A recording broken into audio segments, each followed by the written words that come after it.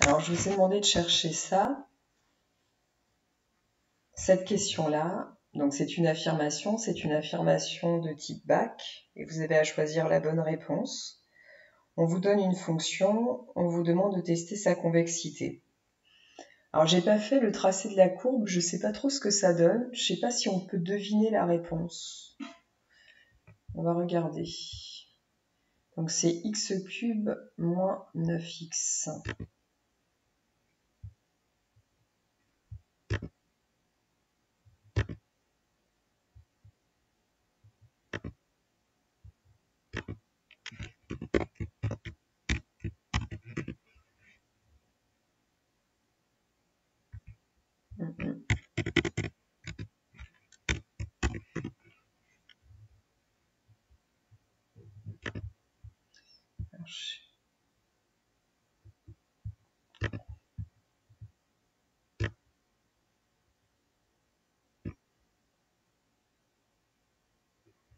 Quand on observe ici la courbe, on peut voir apparaître un bonhomme content, un bonhomme pas content.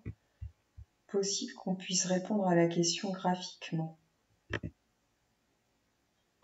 Alors elle n'est pas convexe sur moins l'infini plus l'infini parce que justement elle change. Hein.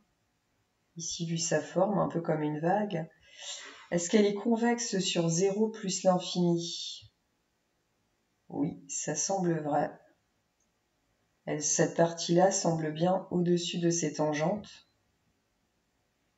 Est-ce qu'elle semble convexe sur moins l'infini 0 Non. Sur cette partie-là, elle est concave. C'est la définition d'une fonction concave.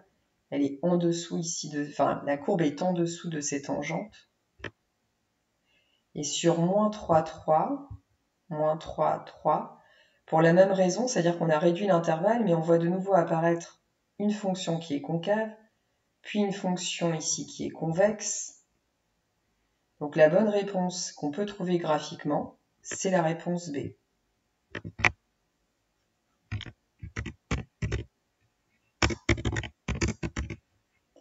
Ça, c'est la façon dont on peut gérer au bac sans avoir de calcul à faire, si jamais c'est lisible. Vous avez quand même vu que j'ai été obligé de changer ma fenêtre sur GeoGebra pour voir apparaître cette courbe. Vous, le jour du bac, vous avez votre calculatrice.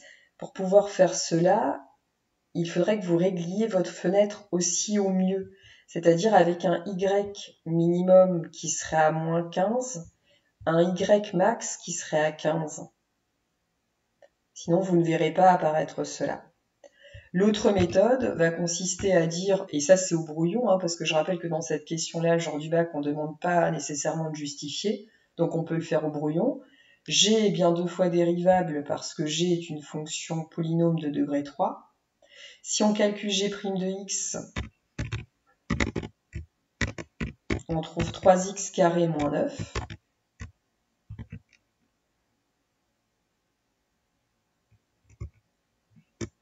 G seconde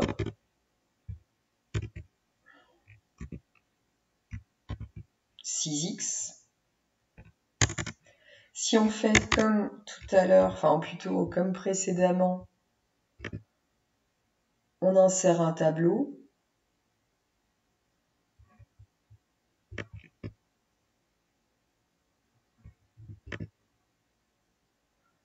Hop, on insère un tableau. Alors ce tableau, il va comporter j'aurais peut-être pas dû faire ça, non, plutôt comme ça. Euh, on insère un tableau et ce tableau va comporter ça, trois lignes.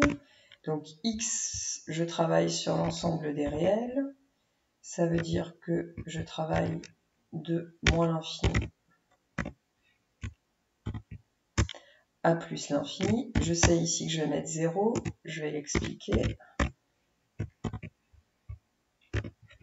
Vous l'avez sans doute cherché, vous savez sans doute pourquoi. 6x, comme tout à l'heure, on va chercher, enfin comme précédemment dans l'exercice d'application du cours, on cherche la valeur d'annulation. Je rappelle que ce n'est pas l'équation la plus facile à résoudre pour vous, parce que vous faites souvent piéger par la valeur de x, c'est 0 sur 6. et 0 sur 6, ça fait 0. Vous avez 0 euros, vous voulez le partager entre 6 personnes, chacun aura 0.